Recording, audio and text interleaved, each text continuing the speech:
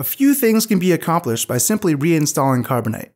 For example, upgrading to the latest version of Carbonite, transferring your Carbonite subscription, or reconnecting to the backup server if the connection does not reestablish automatically. You can reinstall Carbonite by logging into account.carbonite.com. If you have more than one computer in your account, you'll be presented with a list. Once you identify the computer you want to reinstall, look to the right of the computer information and click Reinstall Carbonite. Click Download on the next page and run the file if you can. If you don't get the option to run the installation, you may have to find the downloaded file. Control J usually brings up the browser's download list. From here, follow the on-screen prompts to complete your reinstall. If you reinstall your Carbonite subscription on the original computer, you won't have to back up all your files again.